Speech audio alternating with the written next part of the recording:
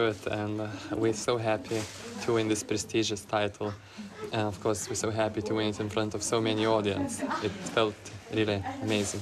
Yeah, it felt special standing in the middle of Budokan and um, in the first place.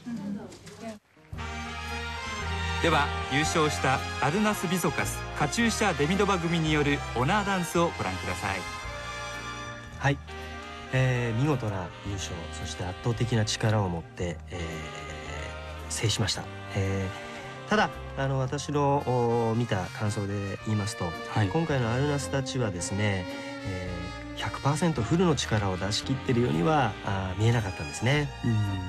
ですからあのもうちょいしなやかな部分であったりとかもちろんテクニックは素晴らしいんですけれどももう少し会場をこう沸かせてほしかったっていうか、えーもうちょっとエキサイティングな戦いにしてくれてれしてくれたらよかったななんてちょっと思ったんですけれども、まあ技術的にもあの素晴らしいものがあるし素晴らしい選手なので、えーまたさらなる期待をしたいと思います。はい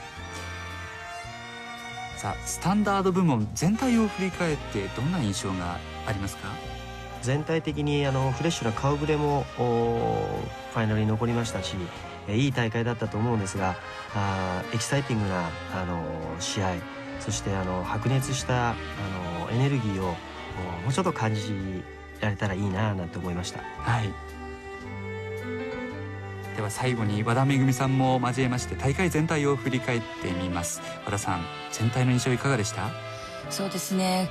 もう今大会は非常に厳しい大会になりましたね。はい。アジア勢が急激に伸びてきているので日本人もそれに負けないようにもう一度シビアにこれを受け止めて頑張ってほしいと思います柳橋さんはいかがでしたそうですね同じです。あのやはりアジア勢の台頭がこれは目立ったと思いますし、ええーやはり日本人、えー選手だけではなくて、えーみんな一丸となって、えー世界と戦えるようなあーそういった、あのチームをもう一回作り上げていくべきじゃないかなと思いました。本当ですね。日本勢の活躍やはり私たちとっても見てみたいですもんね。そうですね。期待します。はい。期待はします。どうもありがとうございました。ありがとうございました。あり。がとうございました。日本インターナショナルダンス選手権次回はどんな展開になるのでしょうか。来年もどうぞお楽しみに